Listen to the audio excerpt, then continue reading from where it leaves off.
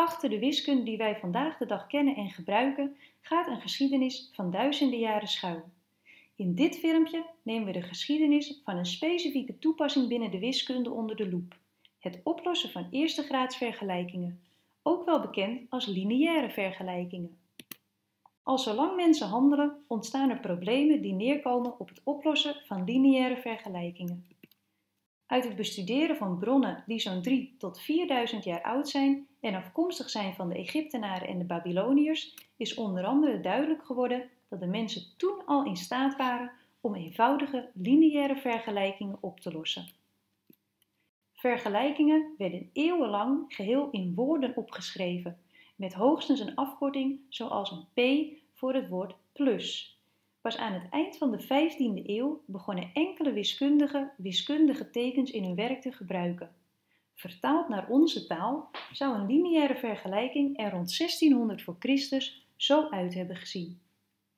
Lineaire vergelijkingen hadden voornamelijk betrekking op de lengte van lijnstukken of aantallen brood en bier die over een bepaald aantal mensen verdeeld moesten worden. In die tijd werden arbeiders namelijk betaald in de vorm van eten en drinken. Overal ter wereld liepen mensen tegen problemen aan die neerkomen op het oplossen van vergelijkingen. Omdat informatie in die tijd niet zo makkelijk met de wereld gedeeld kon worden als nu, zijn er allerlei technieken ontwikkeld om de vergelijkingen op te lossen. De dubbele regula falsi is een beroemde methode om lineaire vergelijkingen op te lossen die door de hele oudheid heen werd gebruikt. Vermoedelijk al bij het oplossen van enkele problemen in de papyrus Rint. Aan de hand van een modern genoteerde lineaire vergelijking laat ik zien hoe de meer dan duizend jaar oude methode van de dubbele regula falsi in zijn werk gaat. Er werd niet voor gekozen om de constante, in ons voorbeeld 28, naar rechts te brengen, maar er werd een gok gedaan. Zeg, x is 8. Invullen geeft 4 keer 8 plus 28 is 60. Dit is een afwijking van 40 ten opzichte van de 100. Er werd nog een gok gedaan, deze keer hoger. Zeg, x is 20. Dit is een afwijking van 8 ten opzichte van de 100. Om in plaats van te blijven gokken, werden de twee eerdere gokken en hun afwijkingen gebruikt om het juiste antwoord te vinden. Hiervoor werd dit schema gebruikt.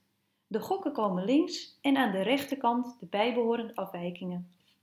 We vermenigvuldigen kruislinks.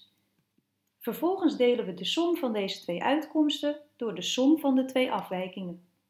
En 18 is precies de oplossing van de vergelijking.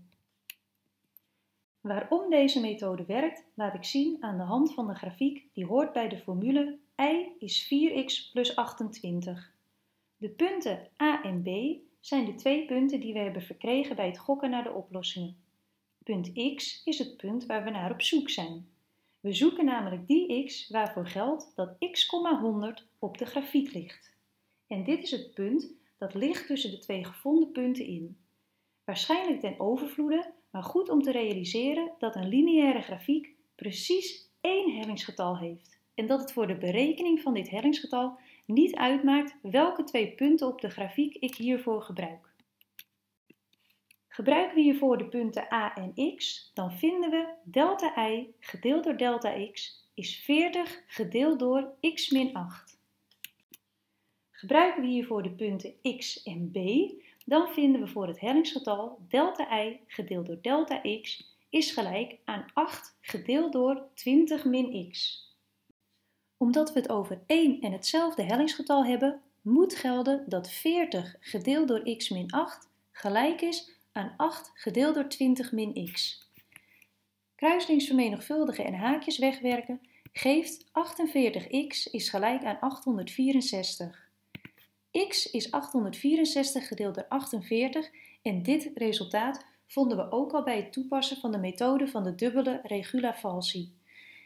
Hoewel het tekenen van grafieken niet gedaan werd door de oude Egyptenaren en de Babyloniërs, begrepen zij wel dat het verschil in de uitkomsten evenredig is met het verschil in wat je invult. En dat is de essentie van lineariteit. Het idee achter deze eeuwenoude methode gebruiken we vandaag de dag nog steeds. We noemen het lineair interpoleren.